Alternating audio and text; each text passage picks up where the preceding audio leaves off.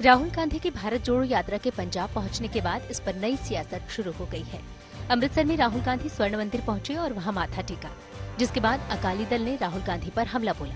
अकाली दल के सांसद हरसिमरत कौर ने कहा कि पंजाब और सिखों से गद्दारी कर सिखों के धार्मिक स्थलों तक को खत्म करने की कोशिश करने वाले गांधी परिवार के उत्तराधिकारी राहुल गांधी के स्वागत में पंजाब कांग्रेस की उत्सुकता और खुशी देखकर शर्म आती है। आज तक इस परिवार ने माफ़ी नहीं मांगी। आप इनका स्वागत कर रहे हो। मैं कांग्रेस वालों से पूछना चाहती हूँ कि बिना माफ़ी मांगे इनकी यात्रा को पंजाब में आने कैसे दिया? इंदौर में चल रहे तीन दिवसीय प्रवासी भारतीय सम्मेलन का समापन हो गया। आयोजन के अंतिम दिन राष्ट्रपति द्रौपदी मुर्मू ने अलग अलग क्षेत्रों में बेहतरीन काम करने वाले 27 प्रवासी भारतीयों को सम्मानित किया। उन्होंने कहा कि भारत वसुधैव कुटुम्बकम की भावना से काम में लगा है। आज कई चुनौतियाँ हैं। भारत विश्व के साथ मिलकर इनसे निपटने में लगा है। सीएम शिवराज सिंह चौहान ने हाथ जोड़कर प्रवासी भारतीयों से माफ़ी मांगी। उन्होंने कहा कि असुविधा हुई हो तो हमें क्षमा कीजिए। मंच पर राष्ट्रपति द्रौपदी मुर्मू के साथ सूरीनाम और गुयाना के राष्ट्रपति भी मौजूद रहे। राजौरी हत्याकांड को लेकर केंद्र सरकार एक्शन में है। 26 जनवरी के बाद राजनाथ सिंह सेना प्रमुख के साथ इलाके का दौरा करेंगे। इस बीच गृह मंत्री अमित शाह ने राज्य के बीजेपी नेताओं के साथ बैठक की और कहा कि राजौरी हमले की ज़िम्मेदारी तय की जाएगी। उधर राजौरी में विलेज डिफेंस कमेटी के सदस्यों को हथियारों की ट्रेनिंग दी जा रही है। उन्हें आधुनिक राइफल एसएलआर चलाना सिखाया जा रहा है।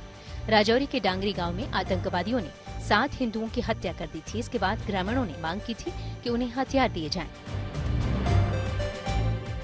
सेना के खिलाफ विवादित टिप्पणी के मामले में जवाहरलाल नेहरू विश्वविद्यालय छात्र संघ की पूर्व उपाध्यक्ष शहला राशिद की मुश्किलें बढ़ गई हैं। दिल्ली के उपराज्यपाल विनय कुमार सक्सेना ने शहला रशीद के खिलाफ मुकदमा चलाने की मंजूरी दे दी है। दरअसल साल 2019 में शहला राशिद ने भारतीय सेना को लेकर कई विवादित बयान दिए थे। शहला ने एक के बाद एक कई ट्वीट कर भारतीय सेना पर कश्मीरी लोगों पर अत्याचार करने के संगीन आरोप लगाए थे। इन ट्वीट को लेकर दिल्ली पुलिस ने शहला के खिलाफ राजद्रोह का केस दर्ज किया था। बेंगलुरु के नागवारा में अंडर कंस्ट्रक्शन मेट्रो पिलर गिरने से एक महिला और उसके ढाई साल के बेटे की मौत हो गई। महिला का पति और एक बेटी गंभीर रूप से घायल हैं। उन्हें अस्पताल में भर्ती कराया गया है। महिला का परिवार बाइक से जा रहा था, तभी पिलर उनके ऊपर गिर गया। घटना के बाद इस पर सियासत भी शुरू हो गई है।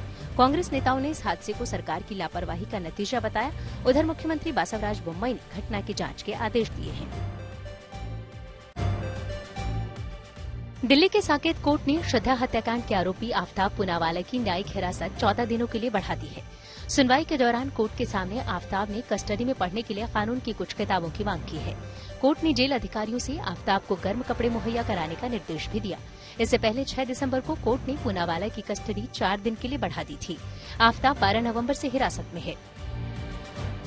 केंद्रीय गृह मंत्री अमित शाह ने लाल किले पर Jai Hind light and sound show की शुरुआत की। अब एक साथ करीब 700 लोग लाल किले पर लाइट एंड साउंड के नए अवतार का लुत्फ उठा सकेंगे। इसमें सत्रहवीं शताब्दी के बाद के भारतीय इतिहास की खास बातों को लाइट एंड साउंड की मदद से उकेरा जाएगा। पूरा शो तीन हिस्से में बटा होगा जो लाल किले में अलग अलग जगहों से होगा। करीब पाँच सालों के बाद लाल किले पर लाइट एंड साउंड शो की फिर से शुरुआत हो रही है। दिल्ली में ठंड का कोहराम जारी है। हालाँकि मंगलवार को न्यूनतम तापमान में बढ़ोतरी दर्ज की गई है, लेकिन ठंडी हवाओं और घने कोहरे ने लोगों की मुश्किलें जारी रखी हैं। मौसम विभाग के मुताबिक अगले चार दिनों तक शीतलहरी के हालात से मुक्ति मिलेगी, लेकिन कोहरा जारी रहेगा। साथ ही गुरुवार को बारिश की भी संभावना है। ठंड की वजह से उत्तर भारत में दिल के दौरे की घटनाएँ लगातार बढ़ रही हैं। कानपुर में दस दिनों में करीब एक सौ तीस लोग हार्ट अटैक से जान गंवा चुके हैं। कल्पना कीजिए, अगर पिछहत्तर साल पहले वर्ष 1947 में भारत का विभाजन न हुआ होता और पाकिस्तान नाम का यह देश न बनता तो क्या होता? तो हम जनसंख्या के मामले में आज दुनिया के सबसे बड़े देश होते। आज भारत की कुल आबादी 140 करोड़ है, पाकिस्तान की 23 करोड़ और बांग्लादेश की कुल आबादी लगभग 17 करोड़ है। और इस हिसाब से यह आंकड़ा आज होता 180 करोड़, जो चीन की कुल जनसंख्या से कहीं ज़्यादा है। तो आज 180 करोड़ की जनसंख्या के साथ भारत दुनिया का सबसे बड़ा देश होता आबादी के हिसाब से। अगर विभाजन ना हुआ होता तो मुस्लिम आबादी के लिहाज से भी भारत दुनिया का सबसे बड़ा देश होता और भारत में मुस्लिम आबादी होती लगभग सत्तावन करोड़। सोचिए, पूरी दुनिया में 180 करोड़ मुसलमान रहते हैं।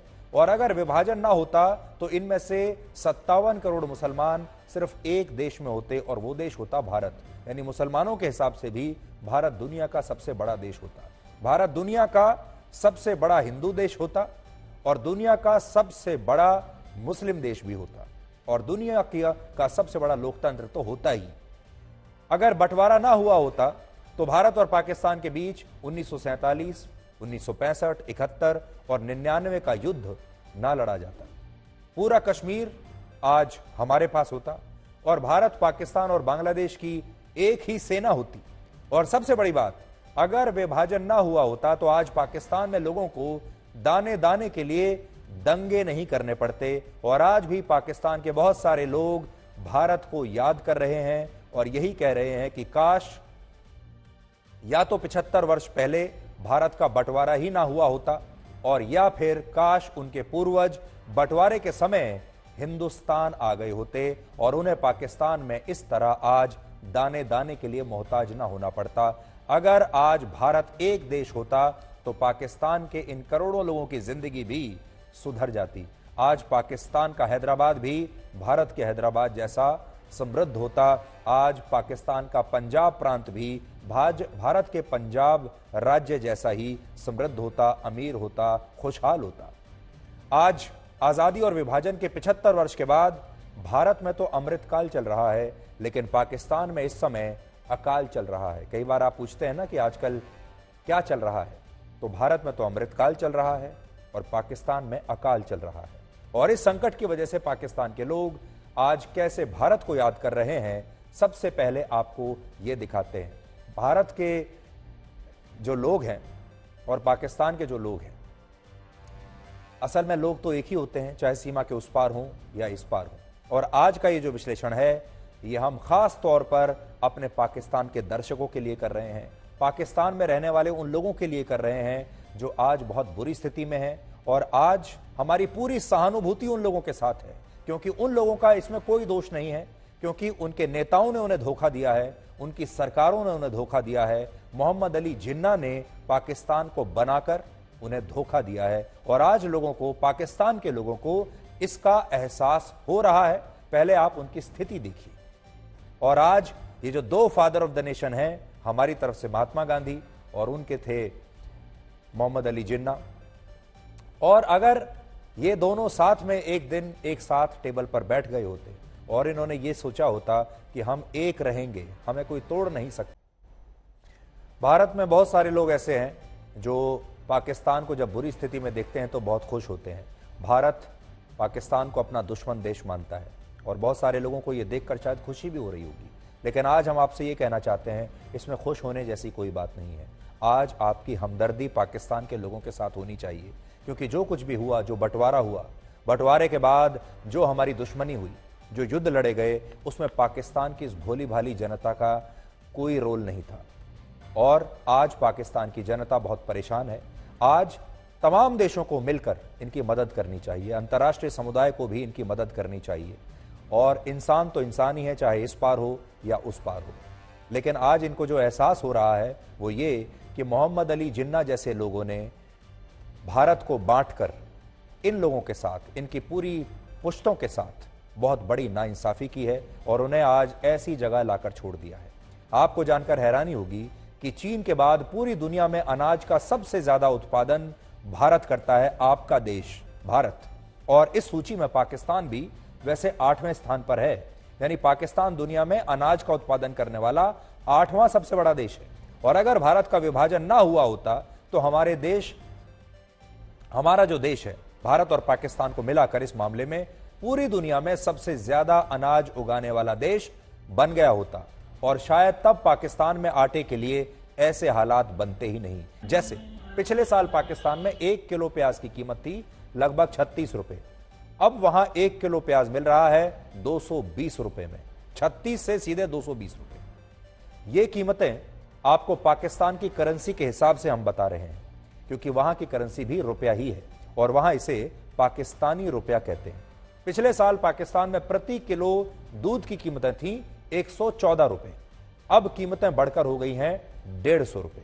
इसी तरह एक पैकेट ब्रेड नब्बे से सौ रुपए, सरसों का तेल लगभग 550 रुपए प्रति लीटर, बासमती चावल डेढ़ सौ रुपए प्रति किलो, मूंग दाल दो सौ बावन रुपए प्रति किलो और एक किलो चिकन लगभग वहाँ 400 से 600 रुपए के बीच में मिल रहा है।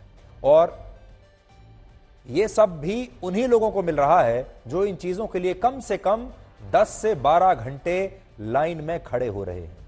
पाकिस्तान के शहरों में खाद्य महँगाई दर पिछले साल जनवरी में 13.3 परसेंट थी, जो अब लगभग 33 परसेंट के स्तर पर पहुँच गई है। और जिन कीमतों पर लोगों को खाने पीने का सामान बाज़ार में मिलता है, उसकी महँगाई दर भी 13 परसेंट से बढ़कर अब लगभग 25 परसेंट तक चली गई है। यानी पाकिस्तान के जो हालात हैं वो श्रीलंका जैसे हो रहे हैं। इसके अलावा पाकिस्तान का विदेशी मुद्रा भंडार लगातार गिर रहा है, कम हो रहा है। पिछले साल पाकिस्तान के फॉरेन रिजर्व्स में दो लाख करोड़ रुपए की विदेशी मुद्रा थी। अब यह आंकड़ा भारतीय रुपए में सिर्फ़ तिरानवे हज़ार करोड़ रुपए बचा है। यानी पाकिस्तान में तिरानवे हज़ार करोड़ रुपए का फॉरेन एक्सचेंज बचा है, जिससे वो दूसरे देशों से अपने ज़रूरत का सामान और सेवाएँ खरीद सकता है। और यही वजह है कि डॉलर के मुकाबले पाकिस्तान का रुपया भी लगातार अब कमज़ोर हो रहा है। जनवरी 2018 में पाकिस्तान के 110 रुपए एक डॉलर के बराबर थे, यानी एक यूएस डॉलर 110 रुपए का था। लेकिन अब पाकिस्तान के 225 रुपए एक डॉलर के बराबर है, जबकि भारत के लगभग बयासी रुपए अभी एक डॉलर के बराबर माने जाते हैं।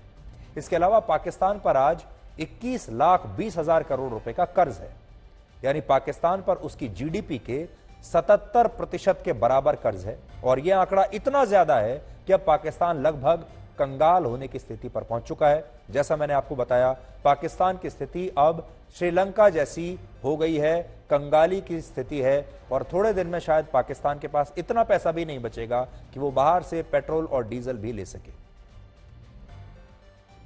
वर्ष 1971 के युद्ध में जब पाकिस्तान भारत से हार गया था, तब पाकिस्तान के तत्कालीन राष्ट्रपति जुल्फिकार अली भुट्टो ने अपने एक भाषण में कहा था, अगर पाकिस्तान को परमाणु संपन्न देश बनाने के लिए उसके लोगों को घास फूस भी खानी पड़ी तो उसके लिए तैयार रहेंगे। यानी भुट्टो कहते थे कि हम घास खा लेंगे, लेकिन अपने आप को परमाणु संपन्न देश बनाकर छोड़ेंगे। और आज पाकिस्तान में यही हो रहा है, पाकिस्तान परमाणु संपन्न देश तो है, उसके पास परमाणु बम तो हैं लेकिन अपने लोगों का पेट भरने के लिए आटा नहीं है। बम है, लेकिन हथियार है, सेना है, लेकिन जनता घास खा रही है। और वहाँ बिजली का संकट भी इतना गंभीर है कि रात को साढ़े आठ बजे के बाद वहाँ सारे बाज़ार बंद कर कर दिए जाते हैं। स्ट्रीट लाइट्स और मैरिज हॉल्स की लाइट्स भी बंद कर दी जाती है ताकि बिजली की बचत हो सके। यहाँ दो बातें बहुत नोट करने वाली है। पहली बात यह कि महँगाई भारत में भी है। और हमारे देश में भी खाने पीने की सामानों की कीमतों में वृद्धि होती रहती है, वो होती रही है। लेकिन भारत में ऐसा कभी नहीं हुआ जब लोगों को पेट्रोल, डीजल ना मिला हो, या आपको पेट्रोल, डीजल के लिए लंबी लाइन लगानी पड़ी हो, या मारपीट करनी पड़ी हो, या कभी भी आपको सब्जियों के लिए, खाने पीने की दूसरी वस्तुओं के लिए, या किसी भी चीज़ के लिए कभी लाइन में लगना पड़ा हो, या मारपीट की नौबत आ गई हो। जबकि भारत में आबादी के लिहाज से चुनौतियाँ पाकिस्तान से कहीं ज़्यादा हैं। हमारी आबादी 140 करोड़ की और पाकिस्तान की आबादी है 23 करोड़ की। महँगाई ज़रूर भारत में है, लेकिन बड़ी बात यह है कि किसी को भी, अगर कोई भी सामान चाहिए तो बहुत आराम से उपलब्ध है। जैसा मैंने आपको बताया, आपको कुछ भी चाहिए, आप ऑनलाइन ऑर्डर कीजिए, आपके घर पहुँच जाएगा। लेकिन इसके बावजूद हमारी स्थिति पाकिस्तान ही नहीं, ब्रिटेन यूरोप के देशों से भी कहीं ज़्यादा बेहतर है। और आज भारत में महँगाई दर है सिर्फ़ छह परसेंट से भी कम, जबकि ज़्यादातर पश्चिमी देशों में महँगाई दर 10 परसेंट या उससे ज़्यादा चल रही है। आज जिस तरह के हालात पाकिस्तान में हैं, वैसे हालात अगर भारत में हो गए होते, भारत उतना कमज़ोर हो गया होता तो पाकिस्तान भारत की इस कमज़ोर स्थिति का पूरा फ़ायदा उठाता और अब तक पाकिस्तान हम पर हमला कर चुका होता, भारत को चारों तरफ़ से घेर चुका होता अगर भारत ऐसी स्थिति में है। लेकिन अगर होता भारत ऐसी स्थिति में लेकिन भारत ने आज तक, इस समय भी, पाकिस्तान की इस कमज़ोर स्थिति का फ़ायदा उठाने की कोई कोशिश नहीं की है। यह बात सही है कि भारत ने पाकिस्तान का बहिष्कार ज़रूर किया है। हर अंतर्राष्ट्रीय मंच पर हम उसका बहिष्कार करते हैं और हमारी बातचीत बंद है। लेकिन हमने पाकिस्तान की इस कमज़ोर स्थिति का फ़ायदा उठाने की कभी कोशिश नहीं की और भारत की सेना अगर आज चाहे तो पाकिस्तान इतनी बुरी स्थिति में है कि पाकिस्तान के साथ कुछ भी किया जा सकता है। पाकिस्तान को पैसे की इतनी आवश्यकता है। पाकिस्तान शायद हमसे लड़ पाने की स्थिति में, शायद एक हफ़्ता भी पाकिस्तान की सेना हमसे लड़ नहीं पाएगी क्योंकि उनके पास इतना कम सामान बचा है। लेकिन फिर भी भारत ने इसका कभी कोई फ़ायदा नहीं उठाया, नाजायज। बड़ी बात यह है कि पाकिस्तान की जड़ें धर्म की मिट्टी में दबी हुई है और यही उनकी सबसे बड़ी समस्या है। और जब भारत के विभाजन के बाद पाकिस्तान का निर्माण हुआ था, तब भी इस विभाजन का कारण सिर्फ़ एक ही था और वो था धर्म। और इसी धर्म कट्टर पंथ ने पाकिस्तान को यहाँ तक पहुँचा दिया। और आप ये भी कह सकते हैं कि पाकिस्तान अस्तित्व में आने से पहले ही धार्मिक कट्टरवाद के जहर में डूब गया था। और इसीलिए आज जब भारत अपनी आज़ादी का अमृतकाल मना रहा है, तब पाकिस्तान में विषकाल और अकाल का दौर चल रहा है, जिसमें हर चीज़ धर्म से जुड़ी हुई है। वहाँ आज सरकारों के तमाम फैसलों से लेकर राजनीतिक पार्टियों तक सेना, सब कुछ धर्म के इर्द गिर्द सिमटा हुआ है। यहाँ आपको पाकिस्तान के दोहरे मापदंड भी देखने चाहिए। स्विट्जरलैंड के जिनेवा में संयुक्त राष्ट्र की जो कॉन्फ्रेंस हुई उसमें पाकिस्तान को बाढ़ बाढ़ से राहत के नाम पर अलग अलग देशों ने भारतीय रुपयों में अठासी हज़ार करोड़ रुपए देने का ऐलान किया है। इनमें पाकिस्तान फ्रांस से भी 2,800 करोड़ रुपए की मदद ले रहा है जबकि उसने कुछ वर्ष पहले फ्रांस को इस्लाम विरोधी बताया था और पैगंबर मोहम्मद साहब के कार्टून प्रकाशित करने पर शार्ली हेब्दो नाम की मैगजीन की कड़ी आलोचना की थी। पाकिस्तान अपने आप को फ्रांस का दुश्मन देश मानता है, क्योंकि सिर्फ़ धर्म के आधार पर। जब भी फ्रांस ने धार्मिक कट्टरवाद और इस्लामिक कट्टरवाद के खिलाफ कोई कदम उठाया, पाकिस्तान ने हमेशा उसकी आलोचना की है। लेकिन पैसा लेने के नाम पर पाकिस्तान फ्रांस के पास भी पहुँच गया। आज जब पाकिस्तान को पैसा चाहिए तो उसे फ्रांस अच्छा लग रहा है।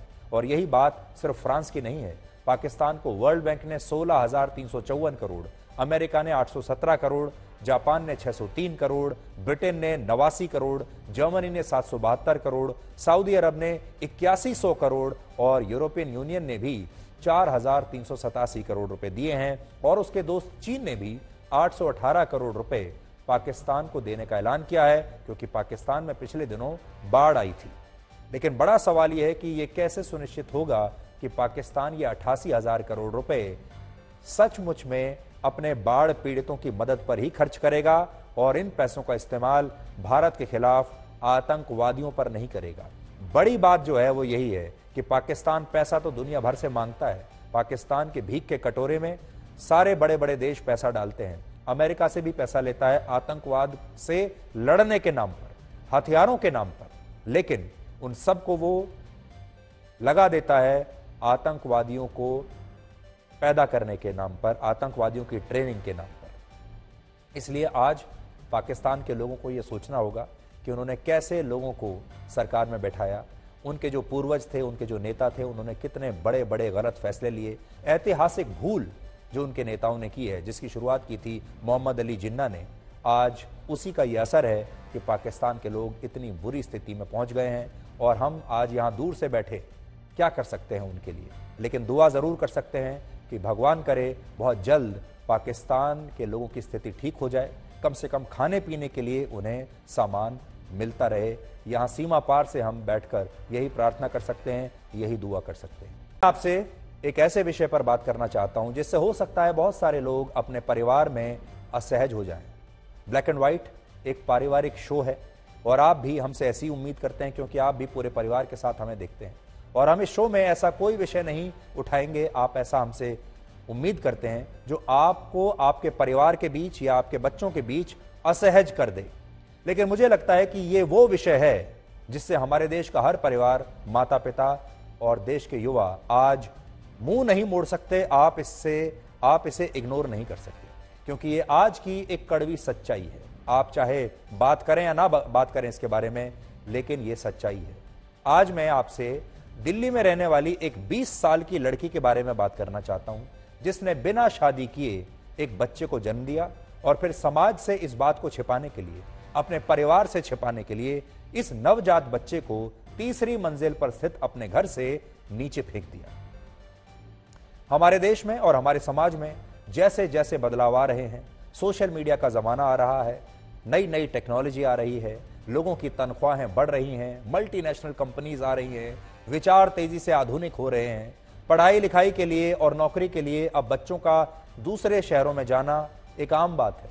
आपके भी बच्चे गए होंगे। इसलिए भारत में लिव इन रिलेशनशिप्स बढ़ रहे हैं। ह्यूमन राइट्स की चर्चा चारों तरफ़ हो रही है। एलजीबीटी राइट्स की चर्चा हो रही है। समलैंगिक रिश्तों की चर्चा हो रही है। और आज की ये कहानी उसी बदलाव का एक साइड इफ़ेक्ट है। हमने बदलाव को तो स्वीकार कर लिया, लेकिन साइड इफ़ेक्ट को स्वीकार करेंगे। बड़ी बात यही है अगर आपने इस बदलाव को स्वीकार कर लिया तो आपको साइड इफ़ेक्ट स्वीकार करने के लिए भी अब तैयार रहना होगा। यह घटना देश की राजधानी दिल्ली की है। किसी छोटे मोटे गाँव की नहीं है दूर दराज जगह की नहीं है।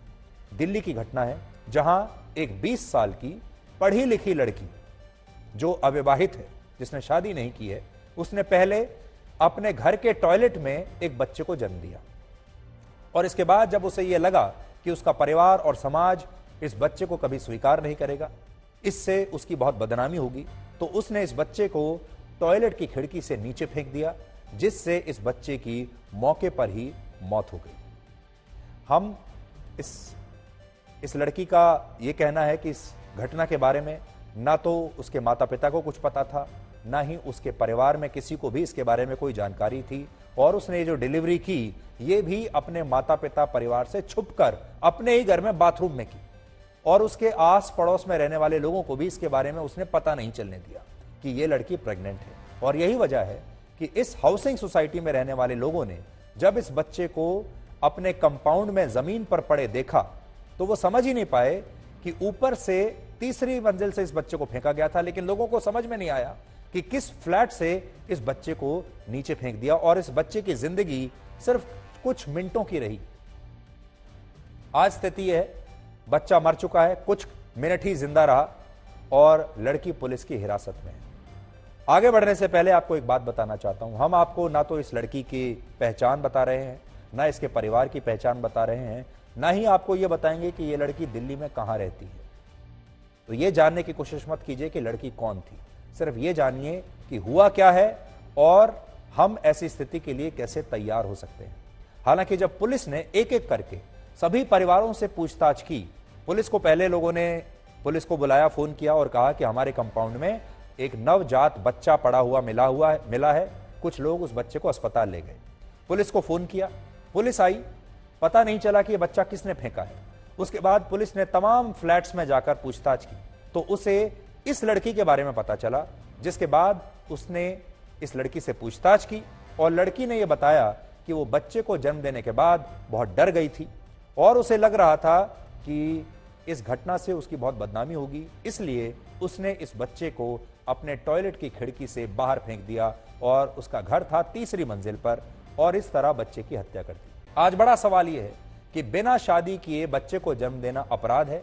या उस बच्चे को जन्म देने के बाद बदनामी के डर से उसकी हत्या कर देना अपराध है। एक और सवाल यह भी है कि आप इस लड़की को क्या मानेंगे? आप इस लड़की को आरोपी मानेंगे? इस लड़की को हत्या का आरोपी मानेंगे? या इस लड़की को खुद एक विक्टिम मानेंगे? खुद एक शिकार मानेंगे? यह बात बिल्कुल सही है कि किसी भी परिवार के लिए यह सबसे मुश्किल समय है। और कोई भी परिवार या कोई भी लड़की खुद को ऐसी स्थिति में कभी नहीं देखना चाहेगी, ना चाहती है।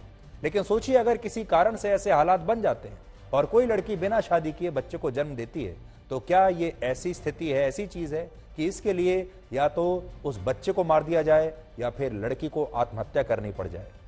और सोचिए आज जब दुनिया तरक्की कर रही है, इंसान चाँद पर पहुँच चुका है अलग अलग देशों में समलैंगिक रिश्तों को स्वीकार किया जा चुका है इसके लिए कानून बन रहे हैं। लिव इन रिलेशनशिप्स को स्वीकार किया जा रहा है। तब ऐसे आधुनिक दौर में एक लड़की अगर बदनामी के डर से या सामाजिक कलंक की वजह से अपने बच्चे को जन्म देने के बाद खुद ही मार देती है तो यह कितनी दुखद बात है। इसका अंदाज़ा लगाना भी मुश्किल है। ये वो लोग हैं दुनिया में जो आधुनिक विचारों का समर्थन करते हैं। देखिए, सड़कों पर जाते हैं, मीडिया इनकी पूरी कवरेज करता है। लेकिन जब इस तरह की घटना आती है तो हमें लगता है कि हमारा समाज आज भी बदला नहीं है। पुलिस का कहना है कि इस लड़की के माता पिता उसके बारे में सब कुछ जानते थे, लेकिन क्योंकि वो सात आठ महीने पहले ही दिल्ली की इस हाउसिंग सोसाइटी में शिफ्ट हुए थे, इसलिए उन्हें भी अपनी बदनामी का बहुत डर था और इसलिए उन्होंने अपनी बेटी का साथ नहीं दिया। लेकिन एक बार आप सोचकर देखिए, अगर इस लड़की को उसके माता पिता ये कहते कि, बेटा, कोई बात नहीं, जो भी गलती हुई है, वो भूलने के लिए तैयार हैं और वो अपनी बेटी का हर कीमत पर साथ देंगे तो कैसा होता? शायद तब ये बच्चा भी ज़िंदा रह जाता। उस लड़की को भी अपनी बाकी की ज़िंदगी अब जेल में नहीं बितानी पड़ती। और उसके माता पिता भी इस तरह पूरी ज़िंदगी ये दर्द ना सहते। एक और बड़ी बात यह है कि ऐसे मामलों में अक्सर लड़की और उसके माता पिता से ही सवाल पूछे जाते हैं। देखिए, आज मीडिया में भी सब जगह इस लड़की के बारे में चर्चा हो रही है, इसके परिवार के बारे में चर्चा हो रही है, ये लड़की कहाँ रहती थी, उसके बारे में चर्चा हो रही है। सब लोग ये जानना चाहते हैं ये लड़की कौन थी। लेकिन कोई ये नहीं जानना चाहता कि इस मामले में इस लड़का कौन था। इस मामले में इस लड़की के माता पिता से यह पूछा जा रहा है कि उन्होंने अपनी लड़की पर ध्यान क्यों नहीं दिया, उस पर नज़र क्यों नहीं रखी, या वो जब घर से नौकरी करने के लिए बाहर जाती थी तब उससे कोई सवाल क्यों नहीं पूछा कि वो कहाँ जा रही है, किससे मिल रही है? लेकिन कोई भी उस लड़के के बारे में या उस लड़के के परिवार के बारे में बात नहीं कर रहा जो इस लड़की के साथ रिश्ते में था, यानी जो इस बच्चे का बाप होगा। यानी हमारा समाज आज भी सिर्फ़ ऐसी घटनाओं के लिए लड़की और उसके माता पिता को दोषी मानता है। और यही डर इस लड़की को भी था, और इसीलिए उसने अपने इस बच्चे को तीसरी मंजिल से नीचे फेंक कर मार डाला।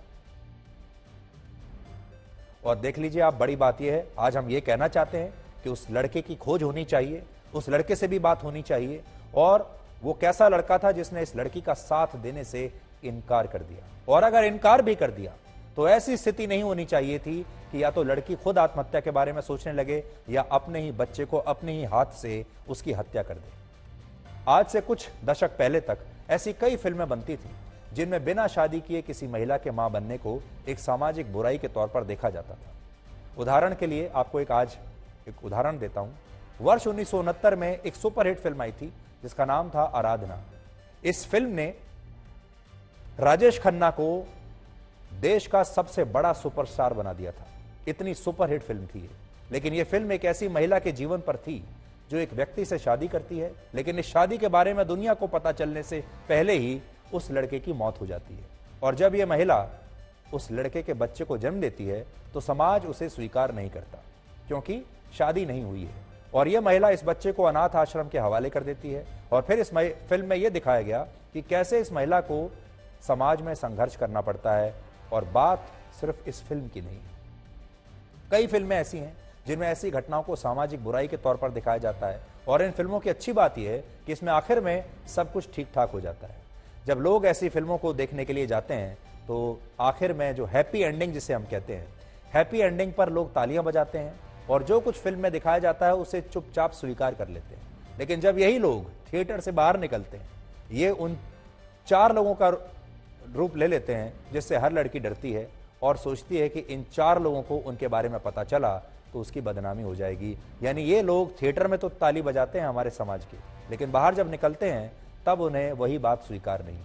आपको जानकर हैरानी होगी कि अब हमारे देश की सरकारी व्यवस्था सिंगल मदर्स के हिसाब से बदल रही है। तो बड़ा सवाल आपके लिए ये लेकर आया हूँ, क्या हमारा देश सिंगल मदर्स और अविवाहित माओ के लिए तैयार है? क्या अब हम उन्हें सम्मान की दृष्टि से देखने के लिए तैयार हैं? हमारे देश के कानून में बहुत बदलाव हो चुके हैं। अब सरकारी पहचान पत्र बनाने या किसी भी दूसरे सरकारी फॉर्म भरते समय पिता का नाम लिखना या बताना आवश्यक नहीं है। पहले यह आवश्यक होता था, हर फॉर्म पर लिखा होता था पिता का नाम क्या है और पिता का नाम बताना अनिवार्य था। लेकिन अब यह कानून बदल चुका है। इसका मतलब यह है कि सरकार भी यह चाहती है। सरकार जो है, ऐसी माओ को जो सिंगल मदर्स हैं, उन्हें स्वीकार कर रही है। तो फिर समाज क्यों नहीं कर रहा? हमारा सवाल वही है, क्योंकि कानून तो बन गए, लेकिन हमारी सोच कब बदलेगी? भारत में एक करोड़ तीस लाख महिलाएँ आज सिंगल मदर की श्रेणी में आती हैं। देखिए सोशल अवेयरनेस से ज़्यादा हमें एज अ सोसाइटी ज़्यादा सेंसिटिव होने की ज़रूरत है और ओपनली सोचने की ज़रूरत है। हम लोग बहुत जल्दी लोगों को स्टिग्मेटाइज कर देते हैं। हम उसका कैरेक्टर असैसिनेशन करना शुरू कर देते हैं। और यही चीज़ें जो डर होती हैं तो एक इस तरह के लोग जो विक्टिम्स मैं इनको विक्टिम बच्चे को तो विक्टिम ही कहूँगा, पर इसको भी मैं ये कहूँगा, ये कहीं ना कहीं सोसाइटी का जो ट्रिगर एक रहता है आदमी के साइकोलॉजिकली कि लोग क्या सोचेंगे, लोग क्या कहेंगे, उससे ज़्यादा आदमी फिर कुछ सोच नहीं सकता। सोसाइटी को अपने नॉर्म्स के अंदर लोगों को एक्सेप्ट करना बहुत ज़रूरी है। ओपनली और उनके साथ एम्पथाइज करे, सेंसिटाइज करे, ना कि किसी को डर हो कि हमारा कैरेक्टर एसेसिनेशन होगा। तो आज आपके सामने एक केस स्टडी है। लड़की 20 साल की है। लड़की पढ़ी लिखी है। ऐसा नहीं है कि पढ़ी लिखी नहीं है। लड़की प्राइवेट सेक्टर में काम करती है। लड़की दिल्ली जैसे महानगर में रहती है। लड़की एक रिश्ते में है और बिना शादी किए एक बच्चे को जन्म दे देती है। लेकिन उसके अंदर इतनी हिम्मत पैदा नहीं कर पाता हमारा समाज और उसका परिवार कि वो इस बच्चे को स्वीकार कर सके। सम्मान के साथ, यहाँ मैं ये ज़रूर जोड़ना चाहता हूँ, सम्मान के साथ। और फिर वो इस बच्चे को पाल पोस कर बड़ा कर सके।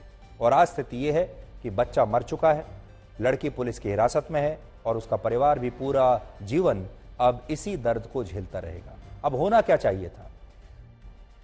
लड़की को अपने परिवार को बताना चाहिए था। परिवार अपनी लड़की को सपोर्ट कर सकता था। समाज, उनके पड़ोसी, उनके रिश्तेदार, उनके दोस्त लड़की को यह बता सकते थे कि गलती हुई है या गलती नहीं भी हुई है यह एक स्थिति है और इसे हमें स्वीकार कर लेना चाहिए। और उसके बाद ये जो सपोर्ट सिस्टम होता है किसी भी व्यक्ति का, उन्हें इस लड़की को सपोर्ट करना चाहिए था। और फिर जो भी उस स्थिति में सबसे अच्छा हल हो सकता है, वो हल इस समस्या का निकालना चाहिए था। वो कैसा भी हल होता, लेकिन वो ये नहीं होता कि बच्चे की हत्या कर दी जाए, लड़की की हत्या कर दी जाए, या फिर लड़की को आत्महत्या करनी पड़े। और ये एक केस स्टडी ऐसी है जिसके बारे में आज हमारे समाज को सोचना होगा। और हमारे समाज में ऐसा नहीं है कि इस तरह के केसेस हुआ नहीं है। आपने देखा होगा, हमारे देश में ऐसे बहुत सारे केसेस हुए हैं, जहाँ एक अविवाहित महिला ने किसी बच्चे को जन्म दिया है और उसने पूरी हिम्मत के साथ समाज का सामना किया है, परिवार का सामना किया है अड़ोसी पड़ोसियों का सामना किया है और खुलकर यह बताया कि हाँ, मैं एक अविवाहित माँ हूँ यह मेरा बच्चा है और वो बच्चे आज पूरे सम्मान के साथ जी रहे हैं। कई केसेस में तो वो बच्चे भी जीवन में बहुत सफल हो गए हैं और वो माए भी आज हैं। मैं आज ये चाहूँगा कि हमारे देश में ऐसी जो माएँ हैं, जो आज इस स्थिति में कि लोग उनकी बात मान सकते हैं, उनकी बातें सुन सकते हैं, कम से कम उन माओ को और उन बच्चों को बाहर निकल कर आना चाहिए और बताना चाहिए कि स्थिति क्या होनी चाहिए और ये स्थिति ब्लैक एंड व्हाइट में होनी चाहिए। आज जो मैंने खबर आपको बताई है, ये ब्लैक में है, लेकिन हमें इसे ले जाना है व्हाइट में, जहाँ हर ऐसे बच्चे को भी पूरे सम्मान के साथ जीवन का अधिकार होना चाहिए और हर बच्ची को, हर लड़की को भी पूरे सम्मान के साथ हमारा समाज स्वीकार कर सके। आपको एक ऐसी तस्वीर दिखाएँगे, जिसके बारे में आप पिछले पिछहत्तर वर्षों से कल्पना तो करते आ रहे हैं, सोचते भी आ रहे हैं, लेकिन आप हमेशा ये सोचते होंगे कि ऐसा हम चाहते तो हैं, लेकिन ये कभी हो नहीं पाएगा। और इसलिए कह रहा हूँ आपको कि अब आपको दिल्ली के लाल किले की ऐसी ही ऐतिहासिक तस्वीर दिखाते हैं जो आपने सिर्फ़ कल्पना की थी, जिससे आपको आज ये पता चलेगा कि कैसे अब लाल किले का भी भारतीयकरण हो चुका है। आज भारत के गृह मंत्री अमित शाह ने लाल किले में, लाल किले पर एक लाइट एंड साउंड शो का उद्घाटन किया और इस शो को जो नाम दिया गया है, वो है जय हिंद। इसमें लेजर लाइटिंग से लाल किले पर ओम की आकृति को अंकित किया गया और इस बार के शो की खासियत यह है कि इसमें मुगलों का इतिहास या मुगल शासकों का महिमा मंडन नहीं है, बल्कि इसकी जगह इस लाइट शो में मराठा योद्धाओं की कहानी बताई गई है।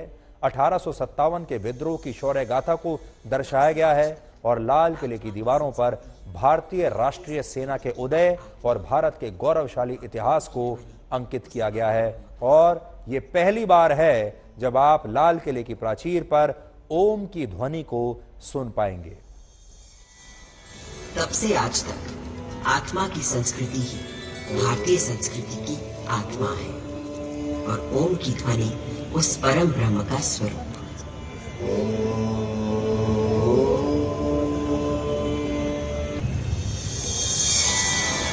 तब से आज तक आत्मा की संस्कृति ही भारतीय संस्कृति की आत्मा है और ओम की ध्वनि उस परम ब्रह्म का स्वरूप।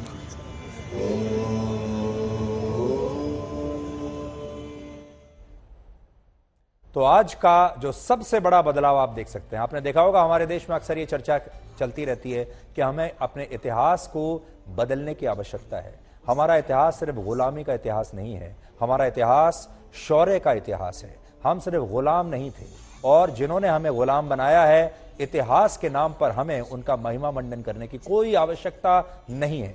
और ये पहली बार हो रहा है जब लाल किले पर, जिसे हम मुगल साम्राज्य का सबसे बड़ा प्रतीक मानते हैं, जिसे हम मुगल शासकों का प्रतीक मानते हैं, और हमारे लिए ये गुलामी का भी एक प्रतीक है, लेकिन कभी हमारे देश के इतिहास की किताबों में इस पर सही विचार रखे नहीं गए।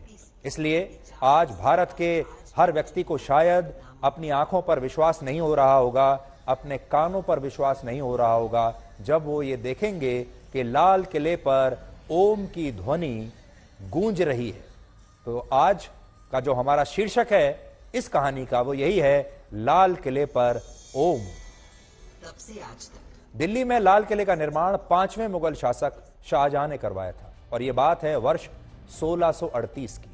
लगभग 10 वर्षों में तैयार हुई इस धरोहर का मकसद था मुगलों की राजधानी को आगरा से दिल्ली शिफ्ट करना। शाहजहां वही मुगल शासक था जिसने ताजमहल का भी निर्माण कराया था। शाहजहां से पहले जो चार मुगल शासक आए, वो थे बाबर, हुमायूं, अकबर और जहांगीर। उन्होंने आगरा को ही अपनी राजधानी माना था। लेकिन शाहजहां के बादशाह बनने के बाद इस परंपरा को बदला गया और मुगलों की शासन नीति दिल्ली के लाल किले से नियंत्रित होने लगी। और जब अठारह सौ सत्तावन में अंग्रेज़ों ने लाल किले को अपने कब्जे में लिया तो यह भारत के लिए एक प्रतीक चिन्ह बन गया और आज़ादी के बाद भी लाल किले को भारत ने एक गौरवशाली प्रतीक चिन्ह के रूप में देखा। लेकिन हमेशा जो इसकी पहचान रही है, वो मुगल साम्राज्य के तौर पर ही रही है। हमारे देश के बहुत सारे लोग आज भी कहते हैं कि अगर ताजमहल नहीं होता तो भारत विदेशों से आने वाले पर्यटकों को क्या दिखाता? या लाल किला नहीं होता तो भारत स्वतंत्रता दिवस के मौके पर कहाँ राष्ट्रीय ध्वज फहराता? लेकिन सच्चाई ये नहीं है। सच्चाई ये है कि मुगलों ने भारत की सांस्कृतिक धरोहरों पर कब्जा किया, उन्हें नष्ट किया और उन्हें नष्ट करके अपने ढांचे विकसित किए और भारत इन्हीं ढांचों का अब भारतीयकरण कर रहा है।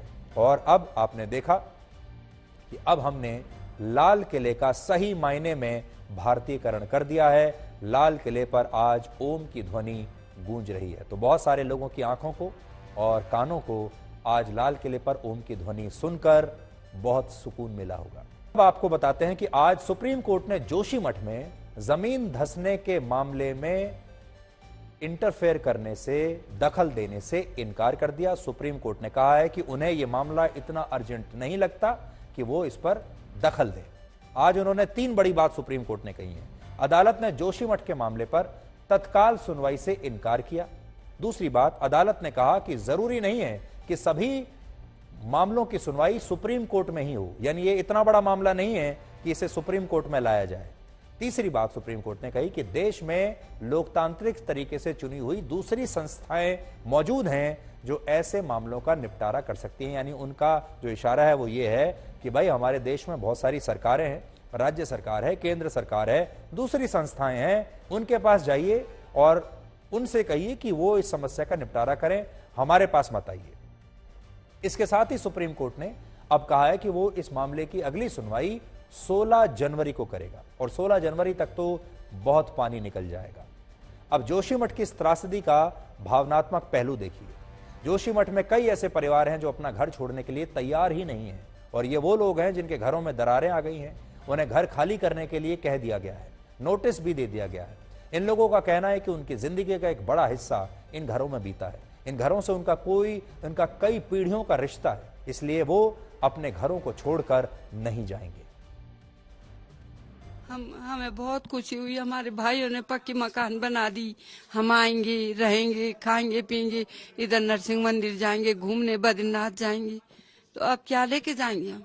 अब तो ऐसा है अब हमारे भाइयों के लिए रहने के लिए मकान ही नहीं। अब देखिए जिन भाइयों ने घर बनाया था वो आज आए हैं देखने के लिए मिलने के लिए वो हाल समझने के लिए अगर आप यहाँ कुछ समझ पा रहे हैं। मैं तो यहीं पे जॉब भी करती थी आंगनबाड़ी में लेकिन इसी बार मुझे जाना पड़ा है मेरा तो आधा जीवन यहीं बीत गया। चालीस साल पैतालीस बयालीस पैतालीस साल होने वाले हैं मुझे यहाँ पे। मेरे लड़की और दो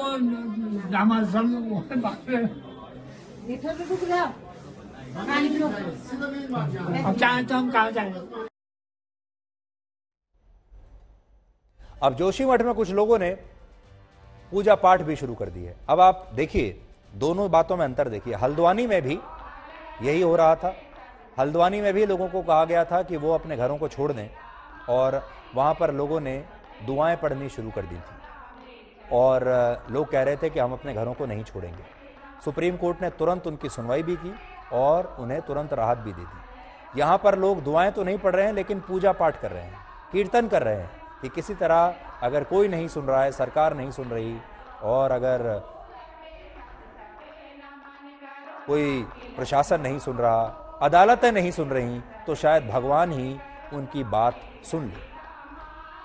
तो एक तरीका तो लोग ये अपना रहे हैं कि लोग रो रहे हैं, भावुक हो रहे हैं पूजा पाठ कर रहे हैं, और अगला तरीका यह है कि लोग अब प्रोटेस्ट कर रहे हैं। आज जोशी मठ में विरोध प्रदर्शन किए गए।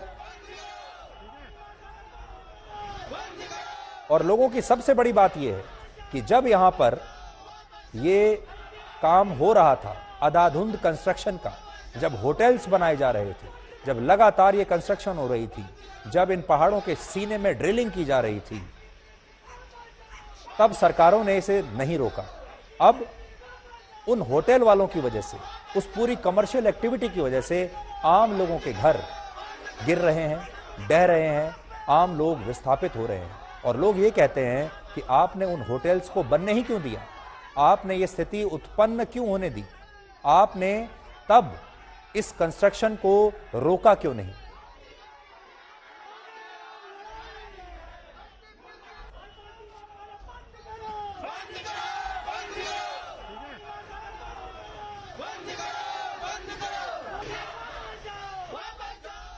तो आज हम उत्तराखंड की सरकार से पूछना चाहते हैं।